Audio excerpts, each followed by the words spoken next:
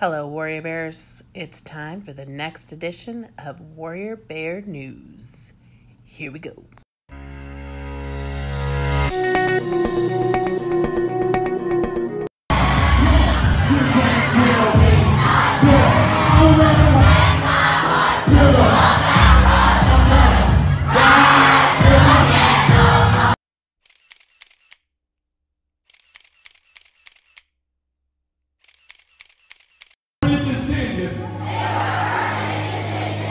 based on a temporary problem. Based on the temporary problem.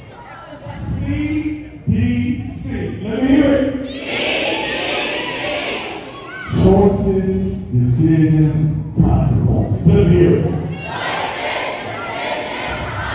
Calm down. Think before you act. Ah, separate emotions from your actions. Calm down. Think before you act.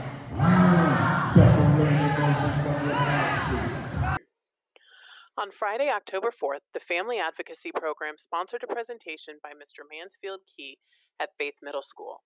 Mr. Key touched on subjects like bullying, how to handle emotional situations, and consideration of others. The presentation was interactive and even involved the staff dancing to Sunshine on a Cloudy Day to demonstrate how much the students meant to them. Students left with a bracelet from Family Advocacy Program and Mr. Key.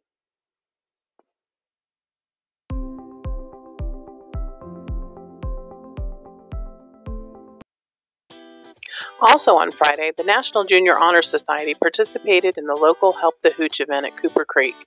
They spent the morning collecting and tracking trash that was found in the park.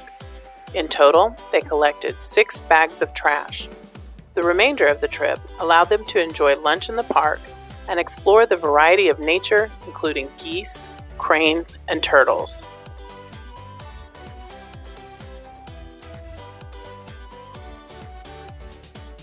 First quarter ends on October 8th. Teachers will spend Friday, October 11th finalizing grades, so students will have no school that day. Monday is also a day off for all because it is a federal holiday. With the end of the quarter, we are gearing up for the Pride Break, where students who have all A's and B's, no discipline referrals, or attendance issues will get to participate. All base students do have school on this day, though elementary students do not for their parent-teacher conferences. Our parent-teacher conferences will be Monday, October 21st. Please check your email for specifics for how each grade level is handling the conferences. Finally, Unity Day will be celebrated at Faith on October 23rd. Students can wear orange tops with their uniform bottoms. Ribbons will be available for those that do not have an orange top.